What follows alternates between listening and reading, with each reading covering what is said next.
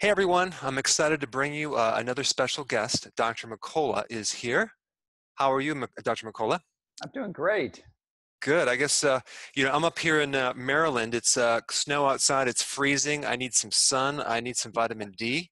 Uh, looks like you you have some nice vitamin D down there. We do. Well, um, it's a little bit deceptive because I just got back from a week in Costa Rica, and Oh. But it is it's going to be in the 70s today, so and sunny, so that's that's good. I suppose it was rough. You had to put a towel on when you got out of the pool, right? That was pretty. Uh, Well, Pretty cool. I'm not a big pool person. I'd rather swim in the ocean. So oh yeah, that's nice. Uh, so um, you know we're gonna basically it's non-scripted. We're gonna just I want to go through some things today with you. Um, uh, lately, uh, I'm sure you heard the news. Jill- Jillian Michaels, she had uh, this whole thing against the ketogenic diet. Have you heard about Mhm. that? She's a seriously confused woman. Yeah, yeah. So I did a video on her and uh, on her confusion, and and we basically got 6,700 views an hour in the last Wow. two days. Yeah, so it's just it's Yeah, blowing up, and uh, it's got to share the truth on that. yeah. Uh, I think it's been three days, and we're it's like 2,500 views an hour. So there's a lot of interest in this This topic. woman is a personal trainer. She doesn't have formal science training. Okay. I know. Jeez. know. I know. She's a she's a TV celebrity. She's not a scientist She, or clinician. no, I know. She has a has a major confusion on insulin. She doesn't understand what that word is and what it does. Yeah. Uh, so Sadly. Yeah, I know. So, um, a couple things I wanted just to kind of uh, bring up. You, you've recently read. You, you recently wrote two books, and you're you're on Mhm. your uh, next one. Actually, you, you have a lot of books. Um, but one of the books. Actually, I'm working on. I'm actually currently work. Well, I'm actually not working on two books. One for next year and the year after. So I'm doing in parallel. You know, um, I can't just work on one project. I have to do several things at once. I just get Sure. bored, so I have to kind of multi. Well, it's not a bored thing. It's just that there's they're really important topics that need to be uh, to be out there. So and one of them is personal too. Is for longevity. So that's that's uh, you know as I'm writing the book, I'm learning things and applying them for myself. So by the time the book is written, I'll have had a lot of experience and personally be able to validate many of these strategies. That's great. Um, the first topic I want to bring up is intermittent fasting. Mhm. Um, you, your your next book that you're writing, you you found some interesting data with uh, detoxing, like when people do. I, I think you you know most of the toxins are stored in the fat cells. So what happens if you detox or fast too long? There's a potential of detoxing some of these chemicals. Tell us That more about correct. Yeah. So it's actually it's not intermittent. Intermittent fasting was my last book with Fat for Fuel.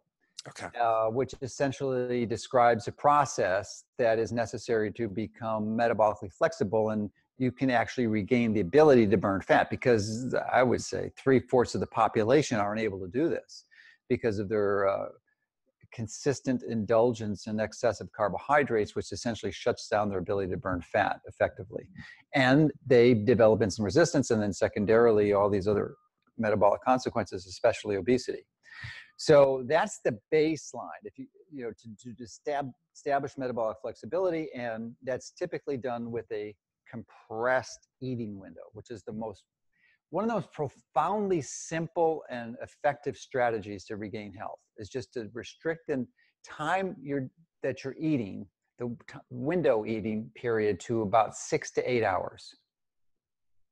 And you Right. may you know it, it's shocked me but i guess it shouldn't have that 90% 9 out of 10 people eat more than 12 hours a day.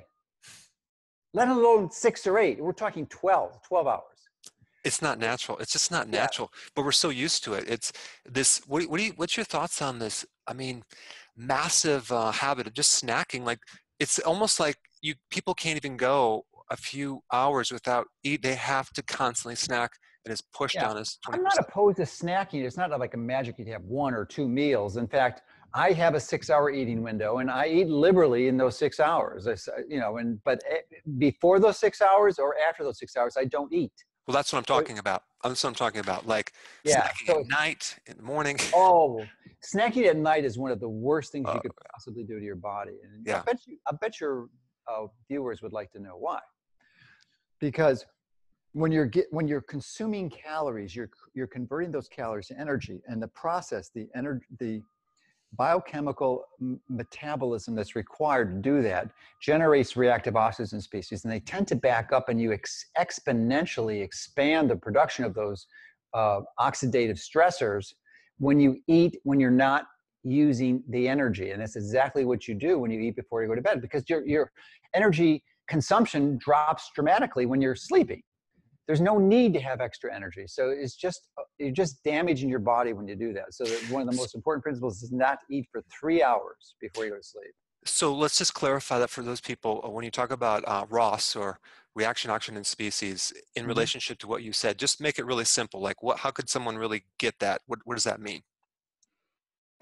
Well, there's a process that occurs when you're creating energy, and it usually occurs in our mitochondria. Those are these little organelles in our cells that are con- considered to be the energy producers, and they create ATP, and that process um, is has a leaky production of these um, electrons that go out and they cause free rad they cause reactive oxygen species which are responsible for producing free radicals which can create cellular damage and proteins Got dna it. cell membranes okay so and it the, the, the and many people have heard that and they think free radicals are bad but actually the truth is that you need a certain level of them to operate and be healthy. They're important biological signaling molecules. So that if you indiscriminately suppress them with excessive antioxidants, that could actually cause problems. But the key here is not to take external exogenous supplementations, but to limit the production.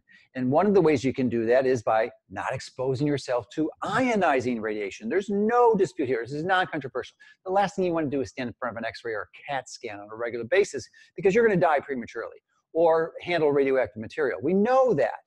Uh, and if we have time later on, we'll talk about the non ionizing radiation. But similarly, you don't want to expose yourself to excessive oxidative stressors by eating at the wrong time because it's going to cause similar damage.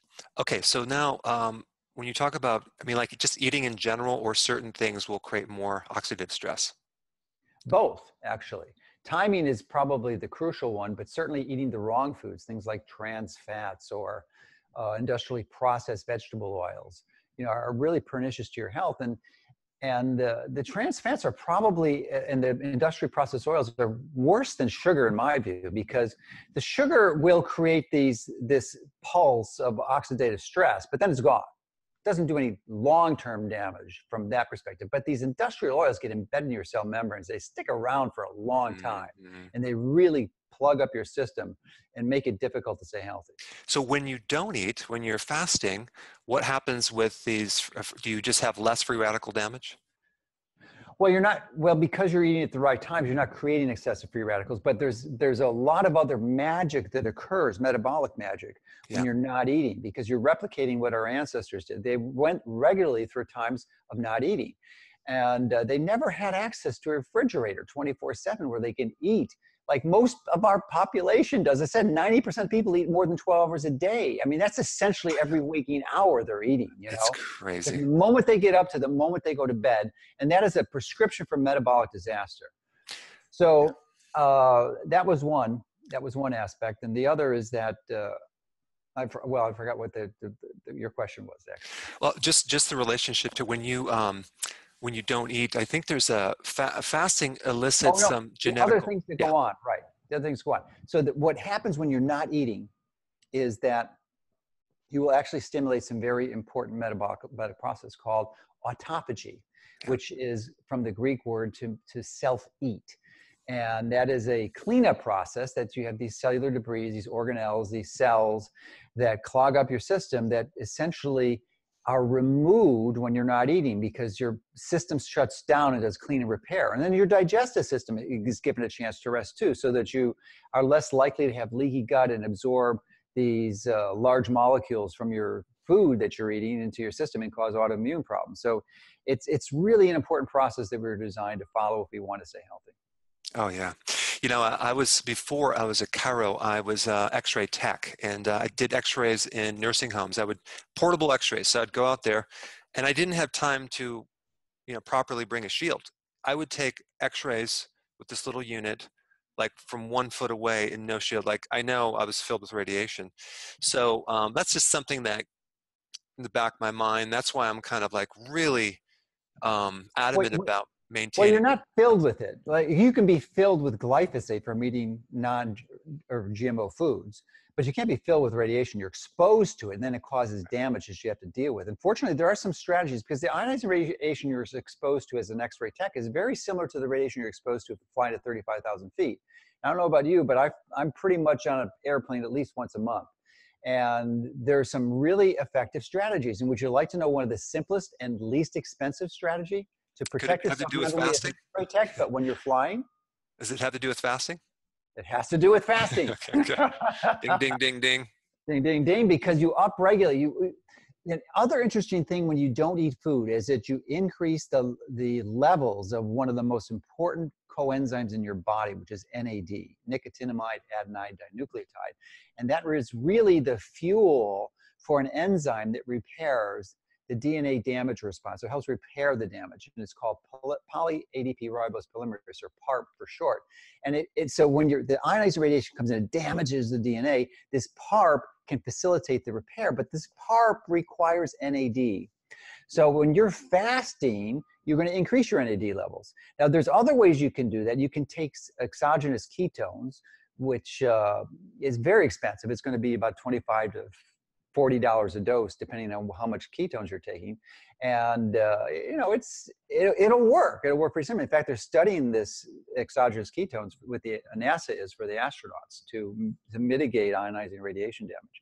But you can just do it by not eating. And, uh, you know, that gets into my next book, which is Keto Fast, that comes out in May, which talks about the benefits of partial fasting as opposed to long term, multi day water fasting, which is what I was thinking I was going to promote because initially, like this time last year, I thought five day water fast was the best metabolic intervention I'd ever seen in my entire clinical career. And it still is powerful, but I think in the 21st century, it's not a wise solution. That's the conclusion I reached after studying this very carefully. Now I recommend a partial fast, which I describe in keto fast. Like intermittent fasting. I'm sorry? Intermittent fasting. No, it's different. Intermittent fasting, let me, let me describe what keto fast is because it's a bit confusing. Intermittent fasting is the base. So that you do this for, you know, eat within a six to eight hour window for at least a month, and then you're metabolically flexible. And upon that platform, you add another level of fasting, which is you would, your first meal, instead of having the whatever 2,000, 3,000, 4,000 calories a day that you normally eat, your first meal of the day after fasting for 18 hours would be anywhere from 300 to 600 calories, maybe 800 if you're a really big muscle builder. So you just have that one meal, and that's the only thing you eat. That, and then for 24 hours you don't eat anything else. So for 42 hours you're only having anywhere from 300 to 500 calories. That's it. So that's the partial fast, which will not give you the identical benefits of a five-day water fast, but will give you a large percentage of them, probably 80 to 90% of the benefits, with virtually none of the downside, which involves liberation of these toxins from your fat cells and being unable to effectively process and eliminate them from your body, causing further damage So, so, um, so clarify that. So we're talking about a pattern of eating and not eating. Mhm. Um, and you said, you know, you have this certain intermittent fasting and then periodically you do. Um, yeah, periodically. That's right. That's the yeah. key is periodically. It's not something you do every day. right. Because just like exercise, if you do exercise, intense exercise every day, you will kill yourself prematurely. You're digging a hole that you can't get out of. This, and, and, and fasting or partial fasting is very similar to exercise in that it's, it's a pulse. It definitely, in some ways, weakens your body, but it makes it stronger when you get out of it on the other side. So you only want to do this like once or twice. If you're, if you're metabolically deranged or damaged, then like say you weigh 100 pounds overweight, then you may want to do it twice a week. But for healthy people, I think once a week is enough, maybe even a little bit less than that. But I try, depending on my schedule, when I gain enough weight, I'll, I'll partial fast. Like I, I, I partial fasted Sunday until we're, we're recording this on a Thursday. So, and, and I lost six pounds and I regained the six pounds. And so then when I get to that threshold of weight, then I, then I can know I can partial fast. Cause I'm going to lose five or six pounds when I partial fast. That's just the way it works. It's Yeah. interesting because you're you're talking about something that I I'm also experimenting on experimenting on right now as well. When it, you know, because you think about it's it's a little bit like muscle confusion. If you Mhm. train, training over time um, decreases your gains because your body adapts to it. So you have to constantly switch it up because, um, it's, and that probably goes with intermittent fasting. I mean, if you take a look at um, how our bodies were designed way back, um, it wasn't such a regular thing. It was like one day we're eating, two days we're not. You know, Right, right. So Depending on it's- your access to food and, Yeah. availability. Yeah, I mean, you see this in nature all the time. I'm watching this brilliant Planet Earth 2 on the BBC documentary on Netflix, and it's just so fascinating to watch the animals in nature. I mean, you know, but- I mean, a lot of them don't make it. They just don't get the food, you know, and they're dead. Right. But I, I mean, just- that food supply is not guaranteed on a regular basis. It's intermittent. Yeah, my wife and I were just watching that last night too with the little starfish, and they're they're like, I mean, the tides coming in. I'm like, this is incredible. What this? Yeah. Yeah, Oh, it's just amazing. Yeah. And I think that's Blue Ocean or Planet Ocean. Yeah. This one's Planet Earth. Oh, which okay. Which is, I like even, I mean, I like it even better because it's terrestrial animals and it's like, it's just so fascinating. It's, It's wild, wild stuff. I was gonna, I wanted to ask about um, an interesting phenomena that occurs, and you touched on it. Um, when you fast, um, there's a your body basically resists stress. Um, it protects you. I guess it's a, I guess it's the term is it resists um, oxidative stress. It actually, it's not like an emergent, like like Julie Michael. She's saying, oh yeah, ketosis fasting, it's an emergency state. I'm like actually, um, it's not necessarily stressful. It's going to your body is going to actually protect you against oxidative damage, and that is a very interesting uh, phenomena because you would think it's just the opposite. Oh, I'm going to starve. I'm stressed out. I'm not going to eat. she, she hasn't, she probably doesn't even know what a ketone is. No, So for no. your, and many of your viewers may not either. So it's, you know, we hear it all the time, but what the hell is a ketone? You know, it is a simply put, it's a very small chain, usually two, three or four carbon chain fat that's because it's so short, is water soluble and it is can essentially penetrate almost every cell in your body. It can easily pass the blood-brain barrier and supply your brain with fuel that makes it mentally alert and sharp. Yeah, interesting. it's Yeah, I, it, you know, just one side note on that, just because um, what I don't understand about, and the reason I'm bringing this up, just because it was a hot topic, and I wanted to, Mhm. for those of you that are listening, um, you know, sh there's a Dr. Axe's uh, one of his companies called uh, Ancient Nutrition, I think, and she's she's one of the investors uh, Oh, of yeah. that company and I'm just surprising because why would you bash keto if you're investing in a company that has all these keto products? So it's just it's weird. I don't understand it. So anyway, Li- inconsistent. um, I now, um, you mentioned about radiation. Uh, what about EMF? I just want to. A lot of people don't know what that is. I know you're you're interested in it. You you know a lot about it. Just give us some data on that. Well, there, eh, we could talk about that for hours. Essentially, the reason why there's a lot of confusion out it relates to the reason why there's confusion about conventional medicine, because there's very powerful corporations and and with respect to medicine, that's primarily the drug companies that uh, can go out and influence the public. And in fact, there was an article published two weeks ago in JAMA that uh, reviewed medical marketing, and in, ni- in 1997, they spent two billion dollars on direct-to-consumer advertising. Direct-to-consumer advertising. This is what you see on TV. That was in 1997. Wow. Okay, to confuse people. Now remember, the United States is only one of two countries in the world where this is legal. You can't do it in any, almost any other country in the world. Interesting. So, what do you think they spent 2016? What did it go up to? Literally 20 years later, I have no idea. 10 billion dollars. What? 10 billion dollars was spent direct to consumer advertising. Okay, that sounds like a lot, right? What did they spend in 1997 for for for manipulating, deceiving and confusing physicians? How much? 16 billion.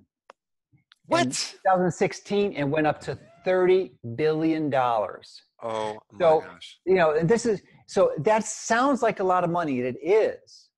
And the reason I went on this tangent is that most of your viewers are familiar with the process of manipulation and deception and fraud that occurs in medicine. Otherwise, they wouldn't be watching your channel, wouldn't be watching me.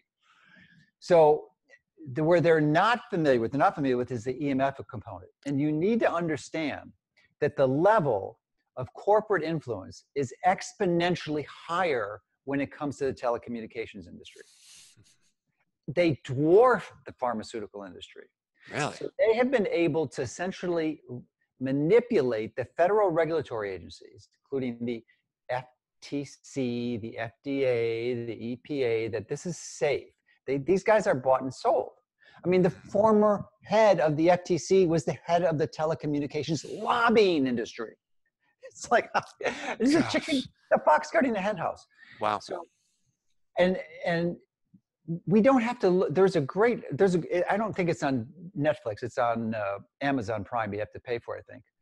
Uh, is um, Merchants of Doubt, which does a brilliant expose on the, the corporate influence on a lot of these policies, and they they they, they focused a lot on tobacco industry, and there was also a book if you prefer reading, which preceded the movie or the documentary. But the the purpose of this is to know, to understand that the CDC and the FDA, I believe it's FDA, FDA and CDC both came out, Surgeon General, and denounced smoking.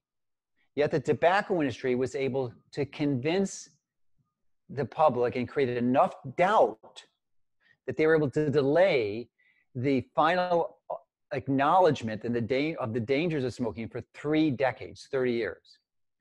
Now, again, tobacco industry is peanuts compared to tele- telecommunications, and we don't. And and they had the federal regulatory agencies saying that it was harmful. We don't have that with EMF.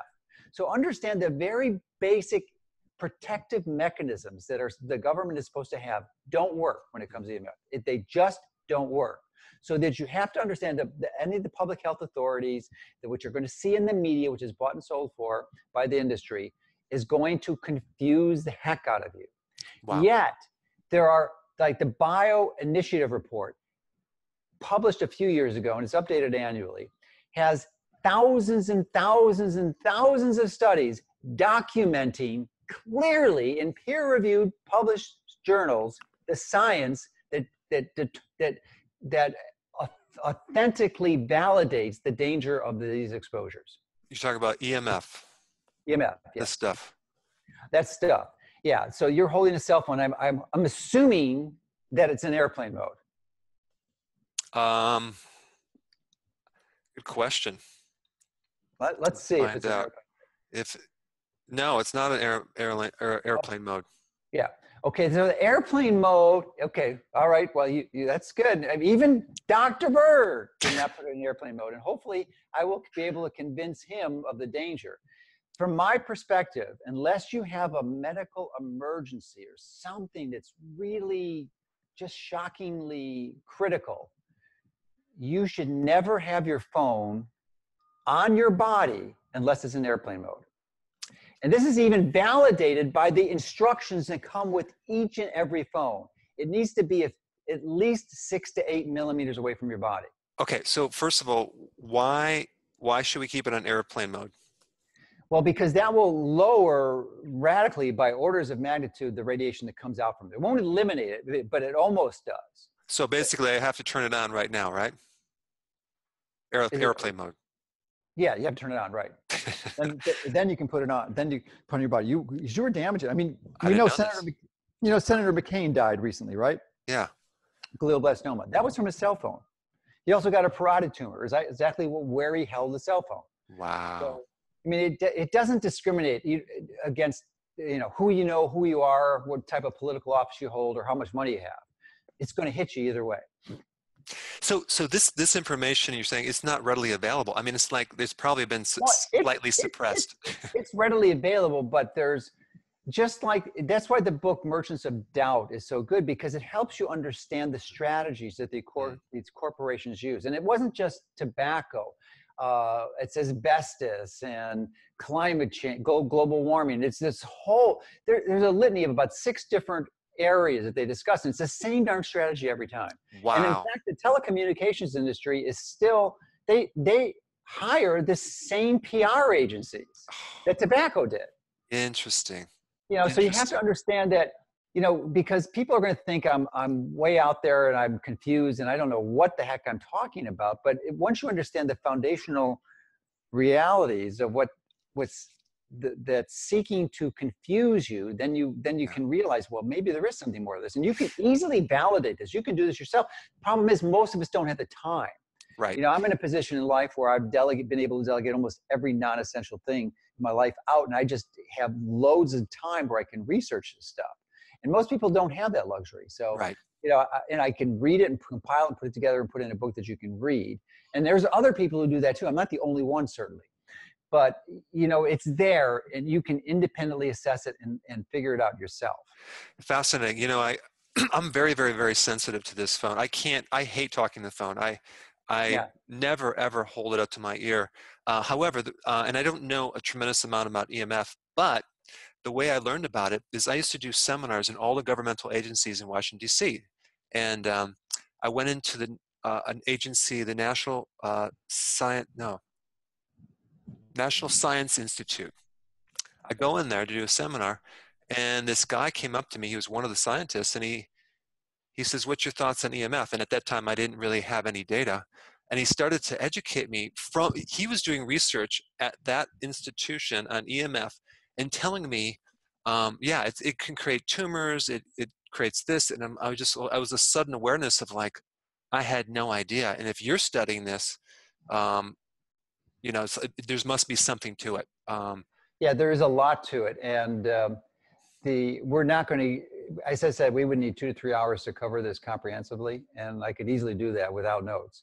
But uh, we don't have the time to do that now. So for those who are interested in this, simple book that's easy to read and gives you a lot of practical strategies uh, until mine comes out in 2020 would be the non-tinfoil guide to EMF by Nicholas Pineault and it's available on Amazon. So that's that's a good one. It's because it's it goes with basics. It's not for the the research savvy scientist or clinician who wants the details because this is written for the consumer which is you know really the target of most of the people watching this so that that's a strategy for sure and the other component to understand we talked about nad before now there's if, for those of you who are, are a little more science oriented there's a, an incredible research paper written 12 years ago now it was written 2007 by paul Pacher p-a-c-h-e-r and it's called peroxynitrite, P E R O X Y N I T R I T E, peroxynitrite in health and disease. And it's a literally 140 page paper. It is a book. It is a book. And it has 1,400 references. And it is literally, I read hundreds and hundreds and hundreds, thousands of studies every year. And this is one of the best written papers I've ever read in my life. It is just unbelievable. And it's free. There's no charge for it. A lot of, you know, half of the journal articles you got to pay $30, $40 to get. This right. is free. Go online on Google, type in what I, the, the headline I gave you, the title, and you'll get, get this paper.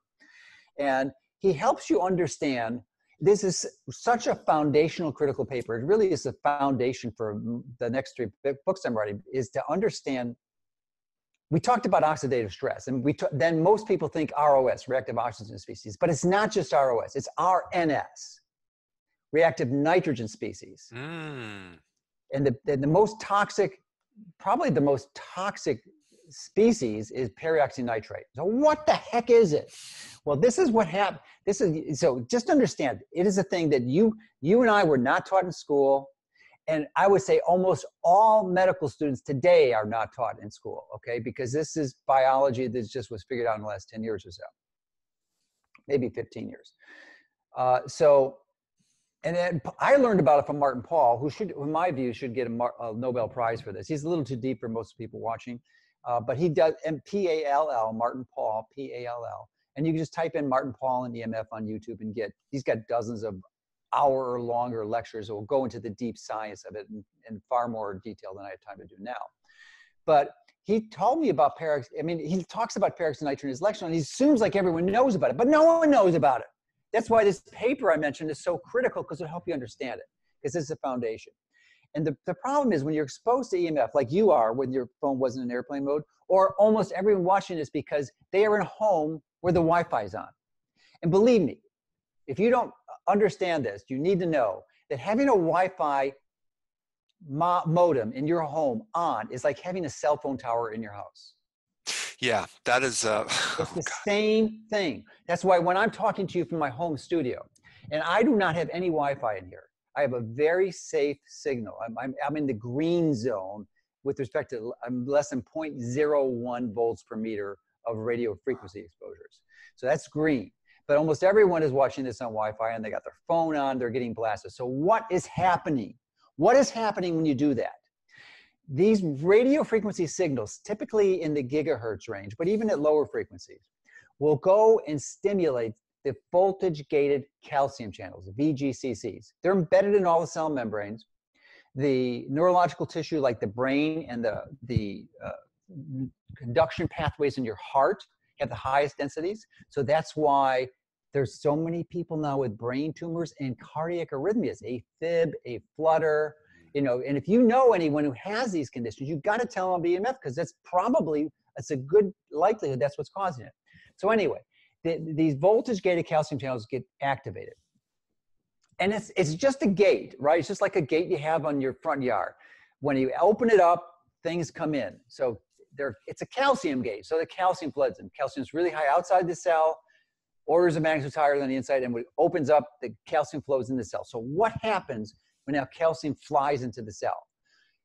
It, act, it, it does two primary things. It's a signal, and it causes more nitric oxide and superoxide to form. And these are very reactive molecules. They get within a hairbreadth of each other, a, a, a hairbreadth of a hairbreadth of each other, and they form peroxynitrite. Why is this so dangerous? Why is it so much? Because the most dangerous ROS is hydroxyl free radical. Hydroxyl free radicals, I know many people have heard of this.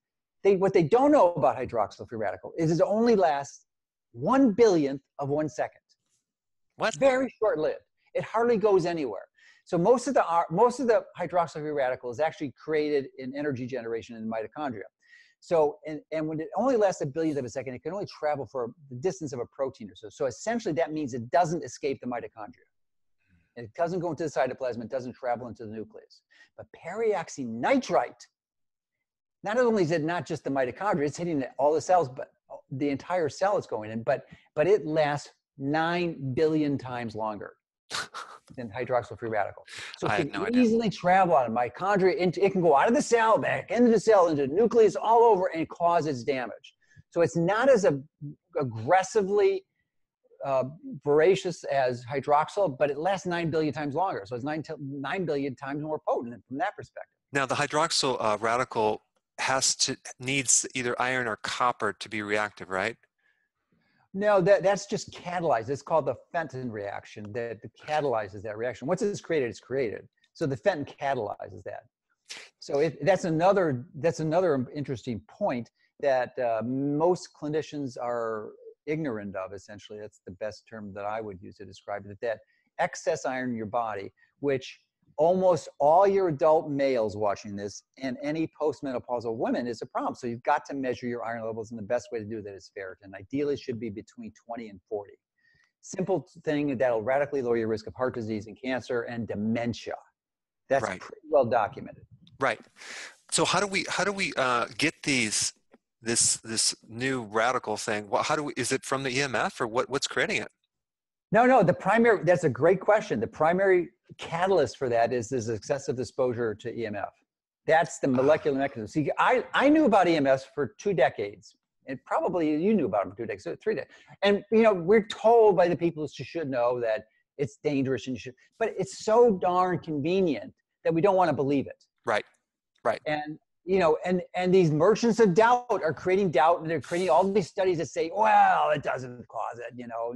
Uh, so you're using that as justification to perpetuate your ignorance, or lack not ignorance, but lack of action to effectively mitigate your exposure to this. So that, I was like that up until a few years ago, until wow. I uh, Klinghardt catalyzed my interest in this, and I started studying. And Pall is really the genius in this whole area, who's really should, I think should get a Nobel Prize. Uh, but what, so once you once you understand the mechanism that there's actually hard science behind this, then you start to believe it. Wow. Okay, so um, it's basically creating this influx of calcium in the cell. What what are some of the consequences other than you know uh, signaling signaling problems, uh, brain Well, tumors. the consequences are many. That's why the title of my book, the tentative title for 2020, is EMF: The Extinction Event. Ooh, Yeah. wow. Yeah, because you're you're what is it? I already mentioned earlier. It's going to hit uh, the heart, so you'll have arrhythmias. But on the beginning end of the spectrum, it's certainly not the only variable, but it's an important variable to contribute to the, the occurrence of autism. And autism, even by conservative measures, the last measure by the government, by the government. When I was in med school, when I started practicing in 85, one in, I didn't see any autistic patients because there was one in 10,000 births were autistic patients. I didn't have 10,000 patients, okay? I've seen tens of thousands of patient visits, but I didn't have 10,000 patients. So I never saw an autistic patient until the incidence started to increase. Now today they admit conservatively, and it's probably much higher than this, is one in 40, one in 40, one in 40. Wow. So from one in 10,000 to one in 40. So that's one consequence. Glyphosate is another issue. Vaccines are another issue. Uh, but probably glyphosate and EMF are the two biggest. Um, so that's one. So you've got, you know, and if a child with autism requires caregivers, otherwise they're going to die. They just can't take care of themselves. So you have an enormous amount of resources being invested in the taking care of the autistic patients. And then the other end of the spectrum, you've got Alzheimer's, which we have a tsunami, an epidemic of Alzheimer's, which is clearly EMF is contributing to this. Wow. So you, you know both of those are increasing exponentially. So if you've got you know half the population demented and the other half, I mean, we're going to one in two autistic births that can't care for themselves. How can the society survive? The only segments or remnants of the population of able to survive are the people aren't exposed to have these types of exposures because they're you can't it just it'll collapse it, it, it's just destined to collapse unless there's some changes occurring what um now as someone ages there's definitely this huge problem and i don't know if this is related with calcium calcium deposits you have arthritis you have calcium yeah well that there's over. a lot of variables for that it's like Okay. chronic inflammation and right you know and- and vitamin k2 is another important because that sucks the calcium from the, the lining of the blood vessels back into the bones where it belongs so and it you know in a hormonal component so it's not just a simple i mean you shouldn't be taking cal- calcium supplements for the most part but you should i mean. Uh, but you know magnesium is far more important but you know excess calcium could be in there but but it's not it's more of a symptom than a cause. Yeah exactly. Um, okay so as far as um, the viewers right now they're kind of probably going to go all right you opened a can of worms. I at least need to know something about because they all have cell phones. Mhm. um, yeah you, do the, only put it in airplane mode if it's going to be in your body. That's what, it what about the earphones the earbuds? They, they have different kinds Yeah, yeah. Well, we'll ta- I'll talk about that. in a- But let me just finish this airplane mode. okay So, how often do you charge your phone? every day at night How often do you think I charge my phone? i have no idea Take a guess. uh, when it runs out Yeah. Well, yeah. So how often is that? um, i guess the phone depend if it's on i guess it lasts what every two days every day and a half Once, once every seven to ten days. What Yeah, that's how often I charge my phone. what Yeah. how does it last that long I have a super battery. No, because it's in airplane mode. Ah, So wow, all that's that energy interesting. that you're putting into the battery is creating radio frequencies, which are exposing you, your body, and your family to these this energy. Interesting. So I, mine is mine is on occasionally. I mean, even, but even if you don't use, ever turn it on, it's still going to the battery probably only lasts maybe two weeks before it goes dead. So, so you basically extend your battery your your battery life when you it's in airplane. yeah, like mode. exponentially. All right. So then you, your other question was, well, what do you do? You know, how do you protect yourself? Well, the first step is airplane mode, is almost all the time, and use a landline. Uh, you can easily use a landline by using your computer. There's voice phones on your computer, which is what I do all the time. People cannot call. They know. I I I, don't text. I just do not use my cell phone. I mean, I'll, I'll, I'll use text occasionally, but I mean, I get more, I, the amount of texting I do in a day, in a year is equal to most people's, what they do in a day, essentially. You know, I do it to Uber or catch an Uber or something. And it's not a text, but that's a, uh, using my cell phone. But anyway, so what can you do? It, when you do use it, make sure it's far from your body. So if you're going to hold it, use speakerphone. You know, that's a lot easier and more convenient because you always have speaker, always have the speakerphone option. You're never necessarily going to have your headphone. That's that's inconvenient and it's a hassle. So most of the time, you just go to a quiet place. You know, I mean, you don't want to uh, uh, annoy or disturb others. So, like if I'm in an airplane lounge and you know that's the only phone I have, and I'll use my, but I'll, I'll hold far from me and I'll have it on the speaker mode. I mean, you're still hurting your hand, but at least it's far away from the, what really counts because the, the, your friend is distant. So the further away from your body it is, the, the better. And you have to know though, and I, with, with the equipment, the, and the best meter to get for measuring radio frequencies for everyone is called the Acousticom 2. Acoustic, just like it sounds, with an OM and a 2. You get that. Uh, it's very hard to find though, because it's, it's, so it's a very obscure website. It's called Amazon.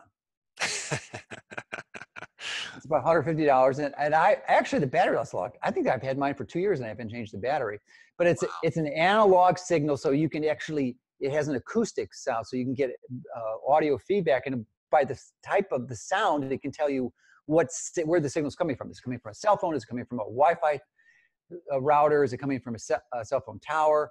So it's, it's pretty interesting. So for and then it can also tell you the level. You can see it and hear it and so can, for those of you that are watching, he's talking about a device to measure EMF. Right. Well, so, well, one level, one type of EMF. There's many types. Ah. Well, uh, this is a radio frequency, typically from a few hundred megahertz to like eight gigahertz. But then there's also higher frequencies and radio frequencies, and then uh, there are magnetic fields and electrical fields. This doesn't measure magnetic or electrical fields. Okay, so like around someone's house, what are some of the big sources of uh, EMF? That's a great question. Probably the most important, as I already mentioned, the Wi-Fi router. Wow. Wi-Fi router and your cell phones are the two biggest threats you have to your to your health. So for that problem, what what is the solution for that problem?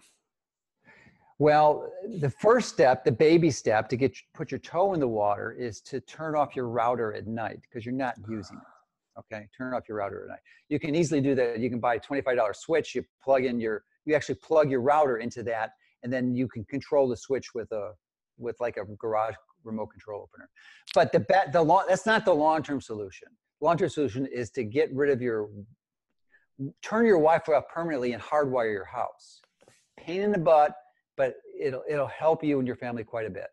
You know, I I agree 100% because I there was um our power went down for 3 days in our house and all the Wi-Fi went down. And man, did I just I slept better. I felt better. I'm like, what what's different? I just feel so good. Yeah. And also, also my computer, my hard drive was very close to underneath my desk, and I felt like I was literally being electrified every single day. I was like, and I said, "Get this thing." Well, you're, you're, you're, well. It's not your hard drive. It's that it's that your computer is using the Wi-Fi signal. It's right next to you. So and, that, and don't make the mistake I did. Say you hardwire your house, right? You know have no Wi-Fi. Um, you still have to go to your desktop, even though it has an Ethernet cable in it, and it's getting a signal from the Ethernet. You have to turn the Wi-Fi off. you have to put it in airplane mode, just like your phone. Otherwise, it's continuing to blast you with the signal. Uh, okay. Yeah, That's so it's a com- the, the, the, devil's in the details because your body. It doesn't matter what your intention is. You have to pay attention to the details because your body will suffer otherwise. Can you hurry up and finish this book? well, the book is almost finished. I'm just tweaking. I, I, it's already written. I just have to put it together in a in a, in a cohesive and um, motivating and catalyzing way so that it will convince people of the dangers. But there's a lot of books written out. This is not the only one. And I said Nick's book is really pretty good for the most part. Uh, it's just not going to go into as much of the science as I, am going to do and really some of the other components and go more into the deception and the fraud so that people because people understand the basic reason why they're being deceived and manipulated then they're more open to the science i think because yeah. you just can't hit with a science you gotta you gotta paint the picture for them yeah they, exactly. they see see the full frame yeah and then the other thing is that um, i think um, one of the big challenges is especially when i did or did our summit we had the speakers fly in and um, people want application they want simple ways mm-hmm. of applying it because right they just yeah. they don't want all the science they want okay what do i do with this information you know what practical things yeah well you need to be motivated first of all that's the key thing. So that, Yeah. that, that that's the reason for the science. And for me, I I wasn't. It gave me the simplest impl- implementation measures to, to follow. But unless I was convinced it was an issue, I wouldn't have done. I didn't do anything. Right. So you have to be convinced first. Right. But Nick's book goes into great detail, all little little things. But the most important thing is your cell phone and your Wi-Fi. I mean, those are the Wow. big ones. I mean, the- Wow. the magnetic fields are an issue, but they're pretty easy to find and mitigate against. Electrical fields is a lot more complex uh, topic that we have time to talk about now. Uh, but um, but it does things. It, it is a big issue for people who have solar panels, and I happen to have you know 15 kilowatts of solar panels on my roof. Uh, and the problem is there's nothing, no, nothing wrong with the solar panels because they create DC power, and DC power is fine. The problem is that you, anyone who's almost anyone who's using them uh, has an AC converter. So they convert the DC to AC, and it's that inverter that causes the complication, which creates a massive amount of what's called dirty electricity, which inputs high voltage transients into your wiring system, which causes electrical fields which go go throughout the wiring of your house and can cause similar problems as the cell phones. Wow. Same mechanism. Wow. So fortunately, there's things that you can do to to, to address that. Uh, but most, but you got to know it's an issue to begin with. So right. Yeah. This is fascinating. This is great data. Um, I had no idea. Um, now you got me really interested. Now I'm going to dive in to Yeah. these topics here. I'll Well, pick up Nick's book because that'll give you the be- best strategy right away. Because my Yeah. book's not going to be out for. It could be out within a year. I mean, it's essentially written. I just have to fine tune it. But Yeah. and the book I'm writing on now, well, see, the book I'm writing on now is going to be it's my masterpiece. It's going to have thousands of references. It's how to it's how to extend your life, but it, but it's based on the uh, the preceding book. So you know, intermittent fasting, partial fasting, EMF remediation. You got to do those. That's the basics. right. You don't do to the advanced stuff until you do the basics. Agreed. So yeah. you I get those agree. things down, and then when you're there, then you can do the fine tuning. Awesome. Wow. Well, thank you so much for your time. This has been great. I think a, a lot of people got a lot of great content and also a lot of ideas to start. We opened a can of worms, but now it's time for them also to take, um, do their own research and start learning about Yeah, these. Yeah, you got to validate it yourself. You know, don't you know? Be a skeptic. I think it's the skepticism is a healthy strategy. You know, you have to be careful and, and ideally validate these things yourself. I mean, the internet is a good source. You just have to be careful, especially with t- with EMF, because you're going to find a lot of confusing material out there based on um, the deception and fraud that the telecommunications industry is introducing into the system. So know that. But you can you can pretty much if you go to these studies, you can see who funded them and find out you know why they're confused. Fascinating. Wow. Well, thank you so much for uh, spending the time. Okay, well, good to be with you.